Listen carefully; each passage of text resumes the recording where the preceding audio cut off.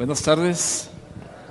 Abra su Biblia, por favor, ahí en el libro de Lucas. Vamos a continuar con el Evangelio de Lucas y vamos a ver algunas cosas mucho, muy importantes que nos enseñan ahí los padres de Juan el Bautista, ¿no? ¿Se acuerda? Hace ocho días vimos que, que los padres de Juan el Bautista, que eran Zacarías y ¿quién más? ¿Cómo se llama la esposa? Elizabeth, ¿no? Dice, la Biblia nos habla y nos dice que eran justos, ¿sí?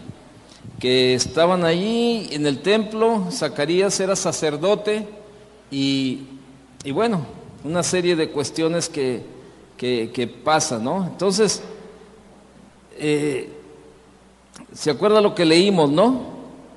Dice ahí en el capítulo 1, verso, verso 6, dice, ambos eran justos delante de Dios y andaban irreprensiblemente en todos los mandamientos y ordenanzas del Señor, pero no tenían hijo, porque, porque Elizabeth era estéril y ambos eran ya de edad avanzada. Fíjese qué tremendo, ¿no? O sea, los padres de Juan el Bautista eran justos, eh, eran padres con problemas humanos. ¿Cuál era el problema humano que tenían? Pues que ya eran de edad avanzada, ese era el problema humano que tenían, ¿sí?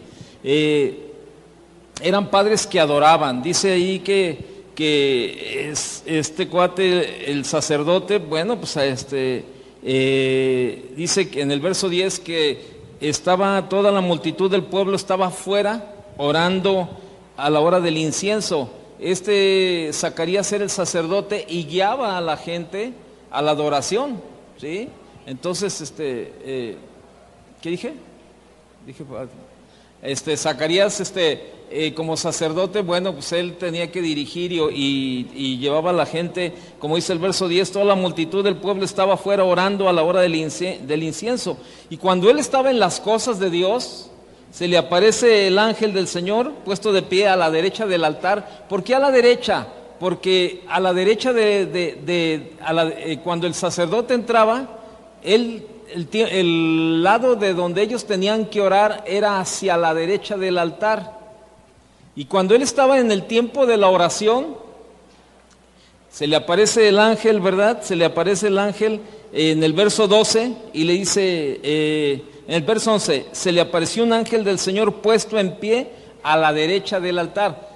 Mire, no crea que la Biblia rellena por rellenar espacios. Cuando nos habla de, de alguna cosa específica es porque tiene un significado. Y esa parte cuando dice a la derecha es porque a la derecha el sacerdote entraba, estaba directo al altar y a su derecha ellos tenían que orar.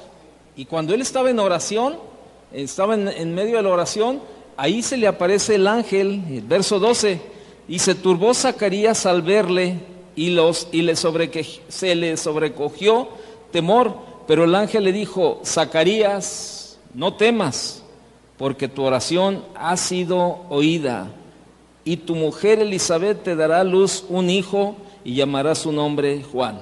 Ok. ¿Cuál sería la oración de Zacarías? ¿Eh? ¿Cuál sería? ¿Qué estaría orando Zacarías? O con tiempo atrás, ¿qué estaría orando? ¿Qué estaría clamando él? ¿Eh? Pues que querían un hijo. Porque qué casualidad que se le aparece el ángel y toca ese tema tu oración ha sido oída. Le dice en el verso, en el verso 12, porque tu oración, ¿cuál era su oración? Señor, danos un hijo, Señor. Señor, queremos un hijo. Mire, esto nos habla de un principio bien importante, de orar específicamente por lo que queremos a Dios. Claro, está en su voluntad que Él nos lo conceda o no. ¿Está de acuerdo? Pero tenemos que ser bien específicos delante de Dios. Orar, ¿verdad? O sea, que, que tu hijo anda descarriado, Señor. Pongo en tus manos la vida de mi hijo, Señor. Estórbale en su pecado, Señor. Vuel, que vuelva a los caminos. Señor, trata con él. Señor, que no se pierda, Señor. Y está ahí. Llega el momento, ¿verdad?, en que tu oración, bueno, específica. Tenemos que ser específicos con Dios. O sea, no podemos hablar de una manera así, bueno, no, no, pues él sabe, él ya sabe. Señor, tú ya sabes lo que necesito, tú ya sabes lo que quiero, tú ya... No, no. Tenemos que, que ir delante de Él, orar y ser específicos para que Él escuche nuestra oración de una manera específica, la verdad. Y podamos de verdad ser agradecidos a la hora de recibir la respuesta de parte de Dios. Y yo te pregunto, ¿por qué estás orando? A lo mejor no has sido muy específico en tu oración y has recibido bendiciones, has recibido, y tú dices, híjole, sí, qué padre, el Señor me supleó y eso, pero, híjole, es que yo tengo esta necesidad y a lo mejor no, no la has presentado delante de Dios. Por eso tenemos que ir y ser claros delante de Dios. Verso 13, le dice el ángel, Elizabeth te dará luz un hijo y llamará su nombre Juan. Entonces, o sea, ahí el ángel, el ángel les empieza, les empieza a, este, a ser específico y le dice, mira, tu oración ya fue oída, o sea, qué padre, hermano, ya este, eh, eh, es, es la, la, parte importante, ¿no? Entonces, este, ay, déjeme aquí porque traigo un, un rollo. Como no tuvimos toda la mañana este, luz, es más, todavía ahorita no, no había llegado allá en las oficinas. Entonces hice mis apuntes de una manera así media mexicana y aquí lo estoy tratando de luchar con ellos ahora. Entonces vemos, vemos ahí a los padres de, de, este, de, Juan el Bautista que eran padres grandemente favorecidos por Dios, ¿sí? Entonces eran padres que tenían dificultad también para creer lo humanamente imposible, ¿no? Si usted sigue leyendo conmigo ahí en el verso 14, y tendrás gozo y alegría, y muchos se, regocijarán en su, de su nacimiento, porque será grande delante de Dios, no beberá vino ni sidra y será lleno del Espíritu Santo, aún desde el vientre de su madre. O sea, esto, esto está hablando de que el hijo de ellos, o sea, Juan el Bautista, se convertiría en una gran persona, o sea, sería una parte importante.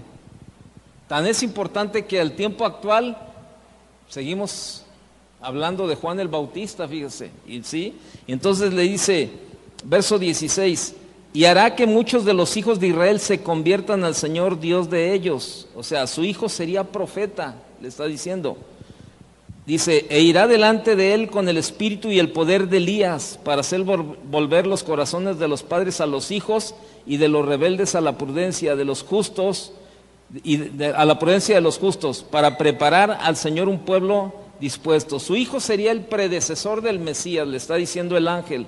El ángel estaba profetizando todo lo que iba a venir a la vida de Zacarías, qué iba a pasar con la vida de su hijo, o sea, para que también los padres supieran, ¿no? Entonces, y este, pero en el verso 18 ahí hay algo importante, vea lo que dice.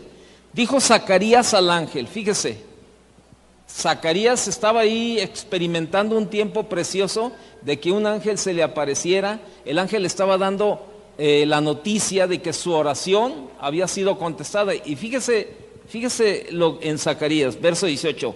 Dijo Zacarías al ángel, ¿en qué conoceré esto? Porque yo soy viejo y mi mujer es de edad avanzada. Ah, Zacarías, Zacarías, Zacarías. Eran padres que tenían dificultad para creer lo humanamente posible. O sea, tenían, no sé qué tenían en el cerebro. Pero oiga, el ángel ya se les había, ya se le había aparecido y le había dicho. Y todavía le pregunta, ¿y cómo va a ser esto? Pues yo soy viejo. Y mi mujer también. Si el ángel ya le había dicho a él que le importaba, ¿cómo, cómo sería? ¿Sabe? Muchas veces así es. Nosotros mismos estamos clamando a Dios, pero nosotros mismos le ponemos obstáculos a Dios para recibir sus bendiciones, porque no creemos. No, pero tú crees. Estoy pidiendo a Dios un trabajo. No, pero pues ve la edad que tengo a mí, ya donde me contratan. No, pues por la edad que tengo ya es bien difícil. Y no, ve, y luego ve cómo está la situación del país, mano. No, y luego más, va a ganar López Obrador y ve cómo se va a poner aquí toda la cosa, ¿no? Y estamos ahí poniendo trabas y trabas y trabas y trabas y probablemente, probablemente el Señor te mostró que Él te iba a dar un trabajo. Sí, Dios me dijo que me iba a dar un trabajo, pero ¿dónde, crees que me contraten si yo ya estoy viejo? ¿Dónde crees que no? Pues, yo ni, ni sé hacer nada, hermano. Pues, o sea, ponemos en duda la palabra de Dios. Por eso la Biblia dice que si no nos hacemos como niños, no entraremos al reino de los cielos. ¿Por qué como niños? Porque el niño lo cree todo. Entonces, ese era, pues, tenía un problema Zacarías ahí con, con su manera de creer. Verso 19. Respondiendo el ángel le dijo, yo soy Gabriel, que estoy delante de Dios y he sido enviado a hablarte y darte estas buenas nuevas. Y ahora quedarás mudo y no podrás hablar hasta el día en que esto se haga, por cuanto no creíste mis palabras, las cuales se cumplirán a su tiempo. Qué tremendo, qué tremenda la disciplina de parte de Dios cuando usted y yo nos portamos de una manera incrédula. O sea, no le creemos a Dios, Dios trata, ¿no crees? Bueno, la Biblia dice que al que cree, todo le es posible. ¿Tú no crees esto? Bueno, ¿qué has detenido en tu vida? ¿Qué bendición has detenido por estar dudando de la palabra de Dios? Por eso, yo imagino que, el, ángel no tenía una, una, actitud así bien paciente en el no, este, bueno, mira, yo estoy delante de Dios y yo vengo a, a decirte y esto. Yo imagino al ángel, por las palabras que yo leo ahí, que el ángel le dice, yo soy Gabriel, yo soy Gabriel, ¿qué no sabes quién soy? Soy uno de los ángeles que están delante de Dios. Y he venido de parte de Él a darte la noticia. O sea, de parte de Dios. Por eso a mí me encanta la vida de, de Josué. Porque dice que Josué obedeció todo lo que Moisés, siervo de Dios, le dijo. Todo.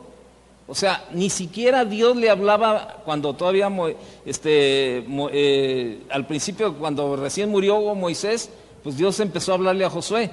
Pero Josué recordó todo lo que había aprendido y todo lo que Moisés le había dicho acerca de la tierra prometida. Y sabe, y a veces muchos cristianos son incrédulos. Por ejemplo, a la hora que yo le estoy diciendo esto, por ejemplo, estoy dando una enseñanza y le estoy poniendo la Biblia como base y todavía usted duda muchas cosas. Viene a la enseñanza, viene a la predicación y el pastor está predicando ahí y dice, no, ¿sabe qué? La Biblia dice que pondemos manos sobre los enfermos y estos sanarán. Y no es algo de nosotros los pastores, es algo que está en la Biblia. Es una de las señales que van a seguir a los que creen. Y oramos por los enfermos y yo no tengo duda que algunos que regresan a su lugar, no, pero es que lo mío ya está bien avanzado. No, pues es que yo ya, olvídate, ¿no? No, no, a mí ya me dijeron, ya me dijo el doctor que pues me va a tener que extirpar un riñón. Oye, pero espérame, si ahorita acabamos de orar, ¿por qué no crees? Bueno, eso le pasó a Zacarías, se quedó mudo. ¿Cuántos quieren quedarse mudos? Ahí estaba. Y ahora quedarás mudo. ¿Qué pasó? Oiga, Vemos ahí en el versículo 6, en el verso 6 que dice, ambos eran justos delante de Dios y andaban irreprensiblemente en todos los mandamientos y ordenanzas del Señor. Pero ¿sabe qué? No dejaban de ser humanos. Y yo te digo, puede ser que tu vida esté bien delante de Dios, que estés caminando en los mandamientos y en las ordenanzas de Dios. Yo no tengo duda. No, hay duda. Pero ¿sabes qué? Este, probablemente la vas a regar, vas a cometer errores como estos de incredulidad. O sea, eran padres que tenían que ser disciplinados por Dios. ¿Por qué? Por la duda. Oye, pero ellos andaban irreprensibles. Pues sí, pero de todos modos Dios iba a tratar con ellos, con él, por su disciplina, por su incredulidad. Entonces, ahí dice el verso, el verso 21, este, Y el pueblo estaba esperando a Zacarías y se, y se extrañaba, ¿qué? Eh, se extrañaba de que él se demorase en el santuario. Pero cuando salió, no les podía hablar. Tuvo que buscar a alguien del ministerio de sordos que le interpretara, porque no hablaba. Y él dice y, dice, y comprendieron que había visto una visión en el santuario. Yo imagino la cara que traía Zacarías, ¿no?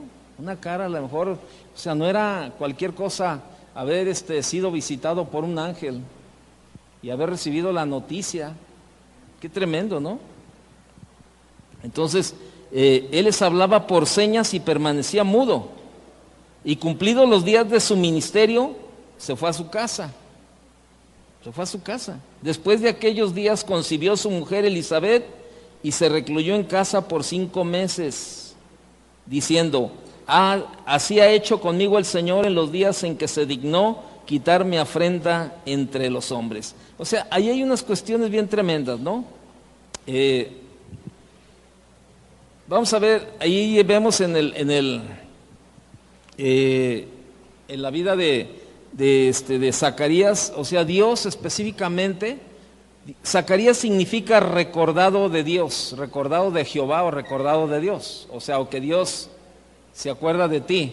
Ese era lo que significaba el nombre de Zacarías, ¿sí? Entonces, eh,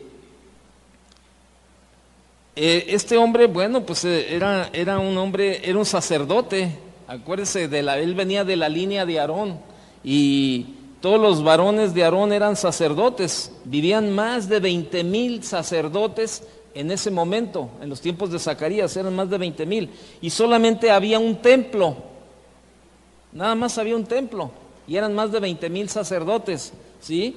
Entonces, de manera que fue preciso dividirlos en grupos. Esto usted lo puede ver en Primera de Crónicas, capítulo 24. Ahí habla acerca de cómo tenían que dividir a los sacerdotes, porque eran tantos sacerdotes para, imagínense, 20 mil sacerdotes ministrando en un templo, pues no, entonces tenían que hacer grupos y este, y, bueno, había 24 grupos y cada grupo servía en el templo durante una semana, durante una semana, ¿verdad? Este, entonces, este, eh, qué tremendo, ¿no? Y eh, qué tremendo por lo que le voy a decir, ¿no? O sea, eh, durante una semana, dos veces al año, tenían que ministrar. Entonces, qué coincidencia que a Zacarías le tocó ese tiempo ministrar, estar en el templo cuando pasa esto. Estaban las cosas de Dios. María, está Elizabeth, bueno, pues Elizabeth significa alguien cuyo juramento es a Dios, o bien más, un, nombre mejor todavía es consagrada para Dios, significa Elizabeth. Esto significa Elizabeth, consagrada para Dios. Y Elizabeth también era hija de un sacerdote, era hija de un sacerdote y era una mujer pura, era una mujer virgen, este, ella eh, tenía que ser virgen al llegar al matrimonio. Se requería que el sacerdote tenía que casarse con una mujer que fuera virgen. Ese era, sí, de ley.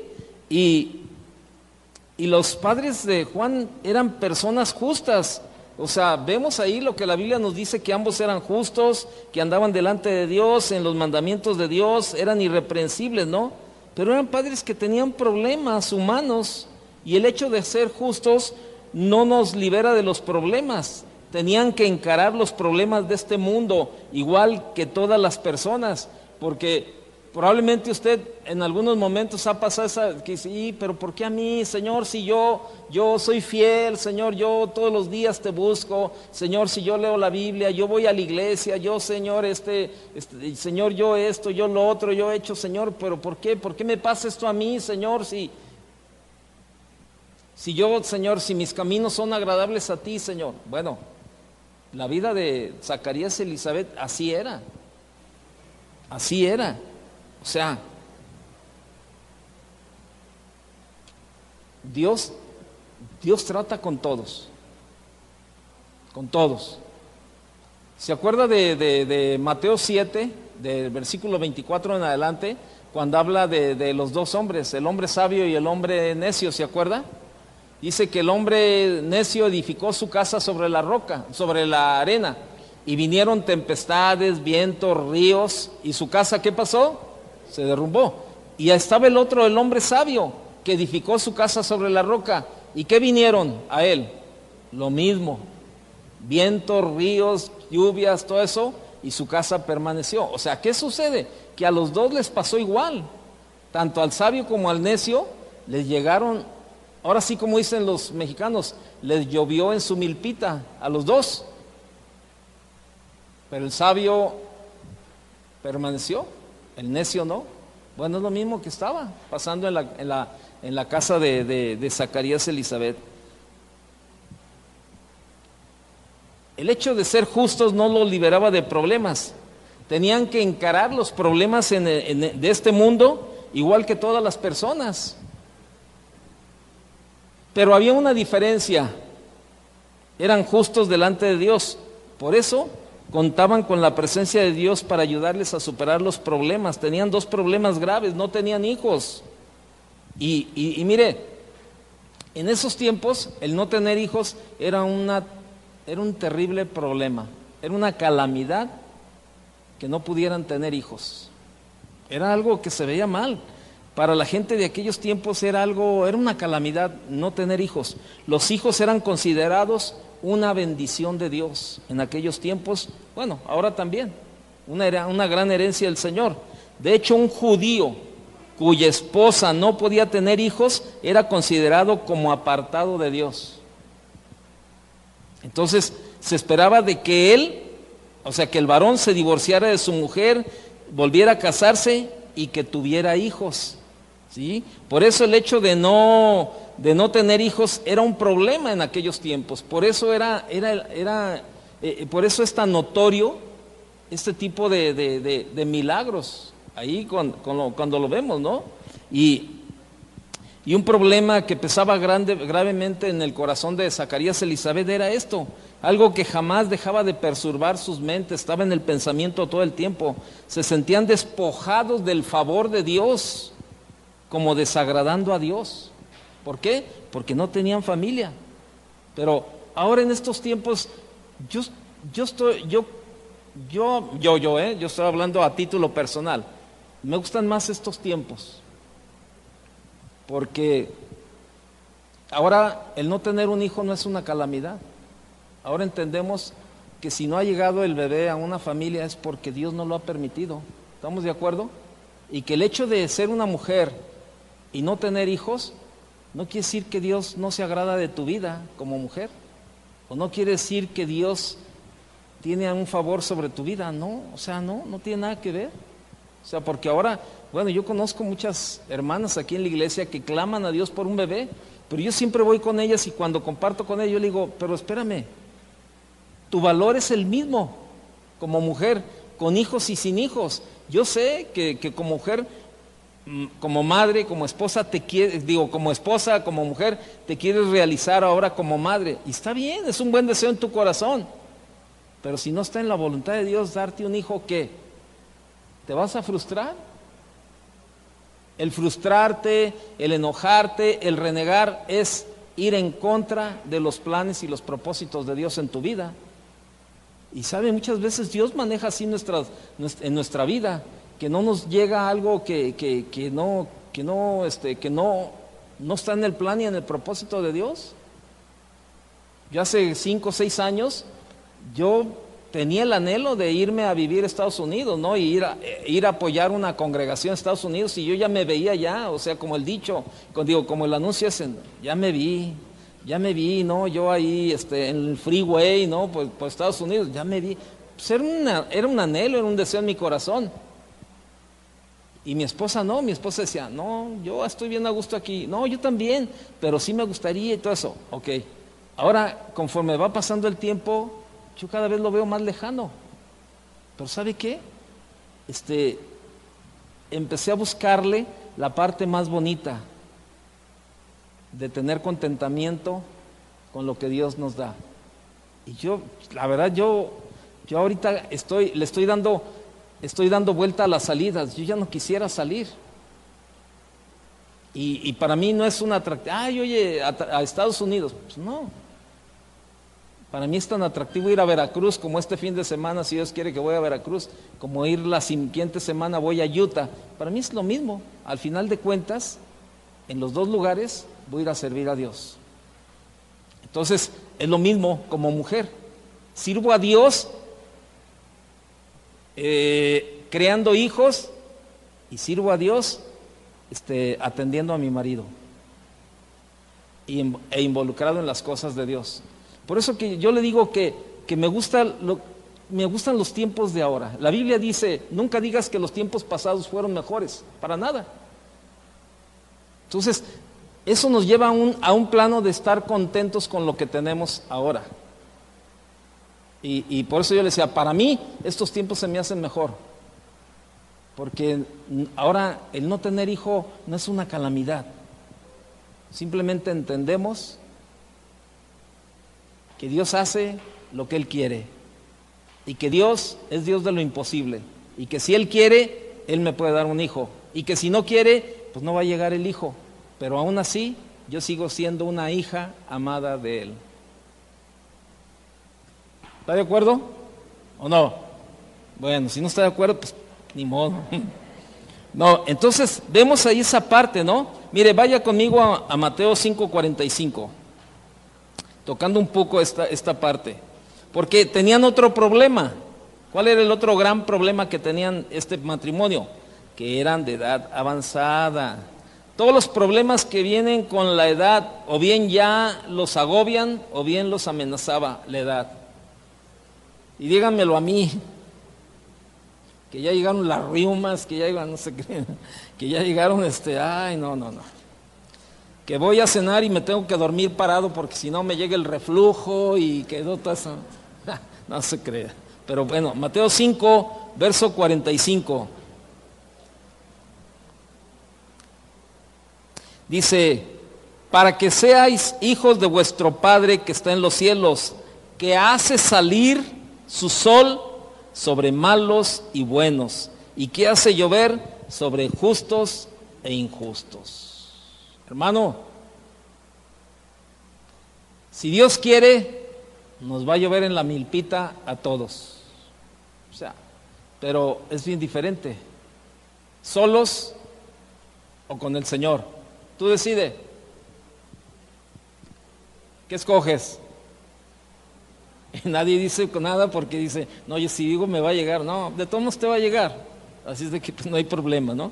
Entonces, vemos ahí, ¿no? Sigamos con los padres. Eran padres que adoraban. Zacarías era fiel a su sacerdocio. Había sido escogido y ordenado por Dios como sacerdote y fue fiel a su llamado. Fue fiel y constante en sus deberes a pesar de la ausencia. Fíjese que a pesar de la, de la ausencia de las bendiciones de Dios, es decir, a pesar de no tener hijos, él era fiel en lo que hacía. Entonces, recuerde que en aquel tiempo el tener un hijo se consideraba una de las mayores bendiciones y señales de la aprobación de Dios. El hecho de no tener hijos se consideraba una indicación de la desaprobación de Dios. Fíjese qué tremendo. Zacarías estaba en este punto. No tenía hijos. Entonces, él estaba en esa parte de los, de, la, de los que se sentían desaprobados por Dios. Pero sin embargo, dice la Biblia que él cumplía fielmente con su servicio.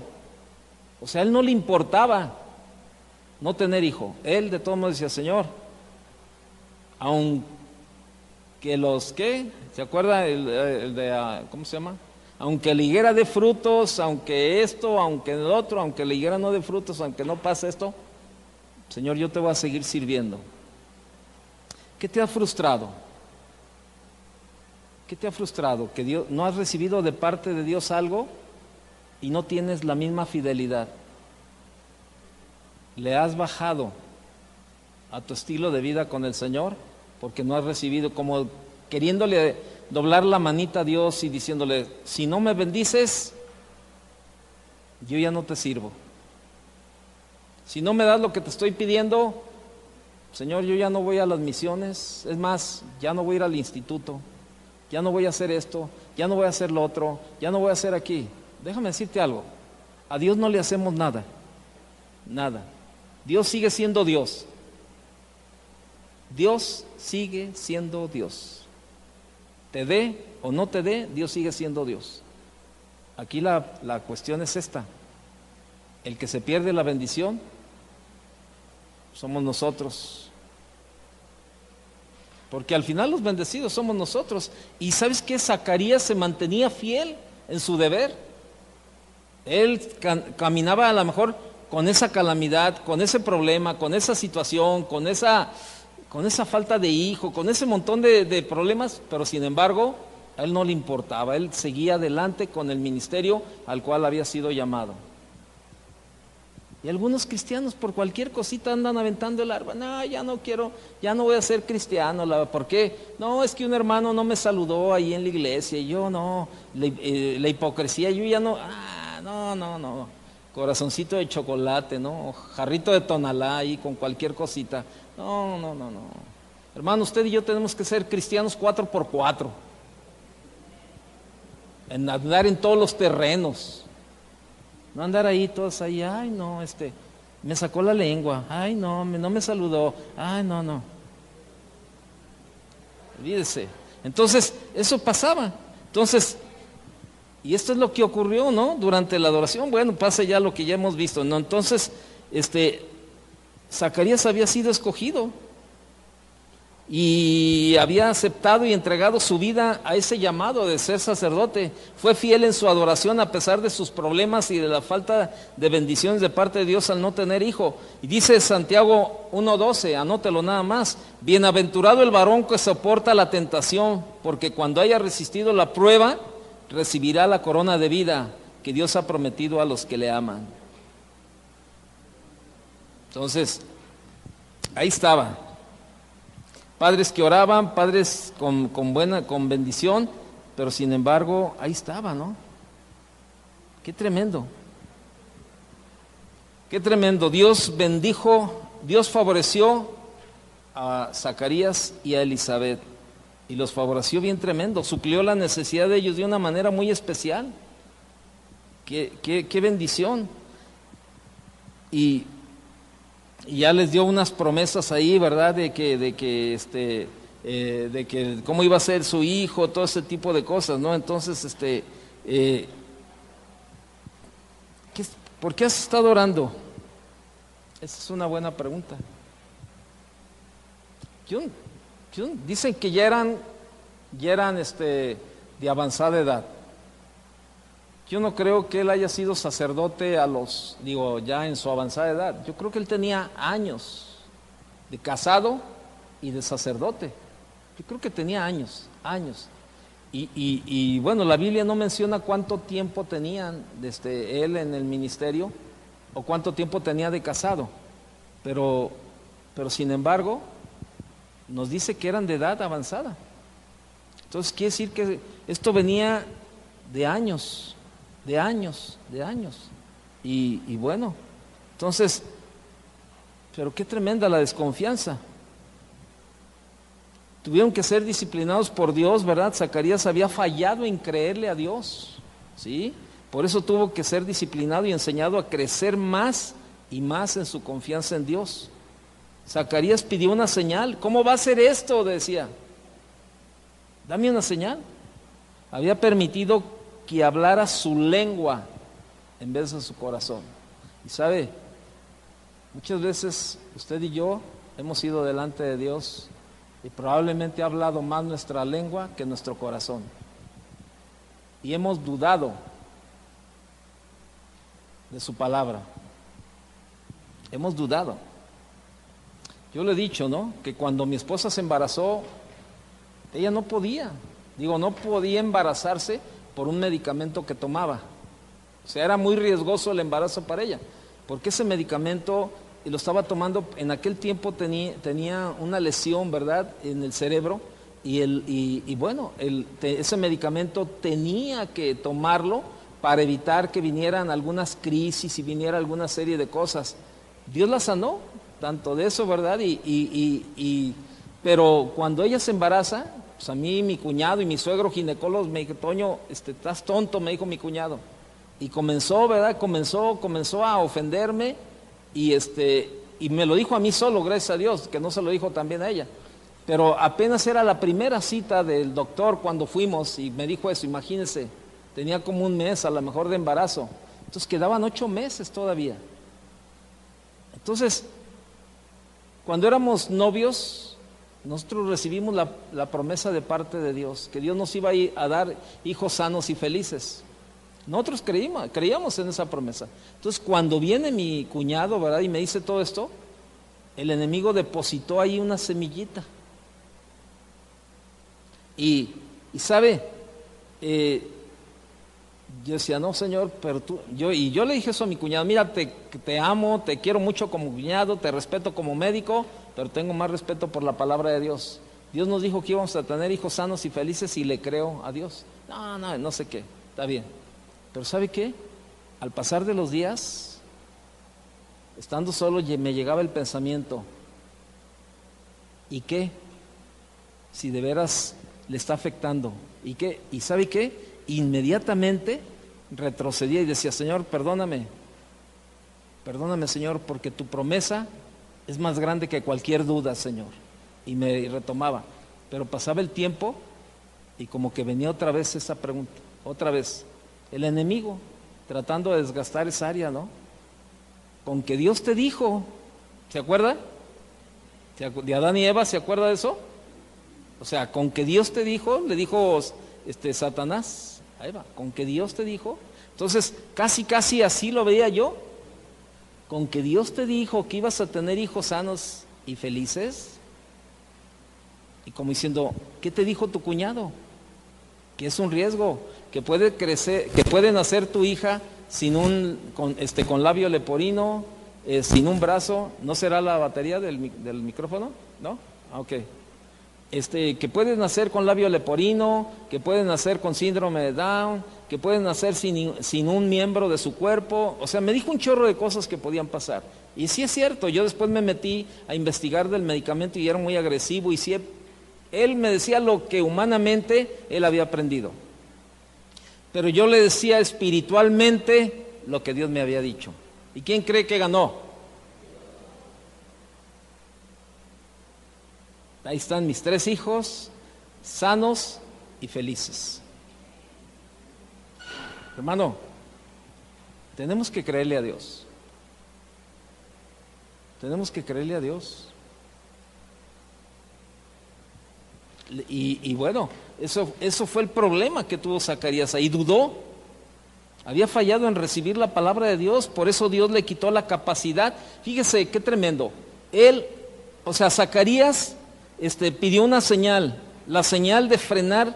Eh, por eso Dios, fíjese, Zacarías viene y le dice, al ángel, le dice al ángel, ¿y cómo será esto? Pues a ti qué te importa, Zacarías. Yo ya te dije que Dios te va a dar un hijo y tú crees eso. Como venga, de donde venga, el Señor va a llegar un hijo. Ah, no, Zacarías va y le dice, y lo cuestiona, y dice, ¿cómo va a ser esto? Como diciendo, ay, sí, ¿a poco? Bueno, por cuanto tú dudaste, él le pidió una señal. Entonces, este, eh, Zacarías pidió una señal, había permitido que hablara su lengua en, vez de su corazón. Por eso Dios le dio una señal. La señal de frenar su lengua durante los nueve meses anteriores al nacimiento de Juan. Ah, ¿quieres una señal? Ok, no vas a hablar en nueve meses. Imagínese, ¿a qué se dedicaba Zacarías? Era un sacerdote. ¿Qué hablaba Zacarías? La palabra, la palabra. ese era su trabajo, ministrar, este, todo ese tipo de cosas. Entonces, Zacarías se había fallado en recibir la palabra de Dios, por eso Dios le quitó la capacidad de compartir la palabra a los hombres durante nueve meses. Zacarías había hablado palabras de desconfianza e incredulidad, por eso Dios lo guardó de hablar otras palabras de desconfianza e incredulidad a la gente. O sea, fue un trato. Todo verdadero hijo de Dios conoce la disciplina de la mano de Dios. Su disciplina es diferente para cada uno de nosotros. Fíjese qué tremendo. Sin embargo, cada uno de nosotros puede reconocerla. O sea, qué tremenda la capacidad y la sabiduría de Dios. Fíjese, Zacarías dudó de la palabra de Dios y le pide una señal. O sea, ¿a dónde me lleva esto? A lo que le quiero compartir lo siguiente. La disciplina de Dios es diferente para todos. Probablemente a usted le va a disciplinar muy diferente a mí. A lo mejor lo que a usted le duele, a mí no. Pero a lo mejor lo que a mí me duele, a, otros no les duele. Y dice, ay, no, no, pues le está pasando esto. Y sabe, y eso me lleva a un punto bien importante, que Dios nos conoce personalmente a cada uno. Y Él sabe por dónde tratar con, con cada uno. Por eso yo siempre le digo a la esposa que viene y, no, es que mi esposo, que no cambia, que mi esposo es así, así, así, así, así, así. bien sencillo, deja que Dios trate con él. Porque si alguien conoce a tu esposo es Dios. Y él sabe perfectamente qué es lo que le duele a tu esposo. Deja que Dios trate con él. Tú nada más ora y haz tu parte como mujer.